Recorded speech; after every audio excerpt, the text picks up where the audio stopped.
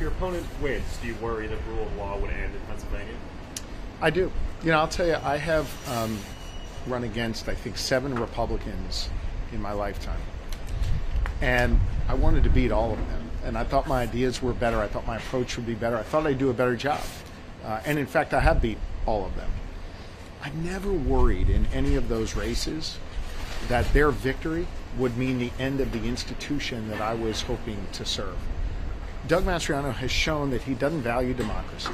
He doesn't value personal freedom. And he's made clear that unless you think like him, unless you look like him, unless you pray like him, unless you vote like him, then you don't count in his Pennsylvania. That's why he's speaking at this QAnon conference. That's why he recruited QAnon extremists and white supremacists to be part of his campaign.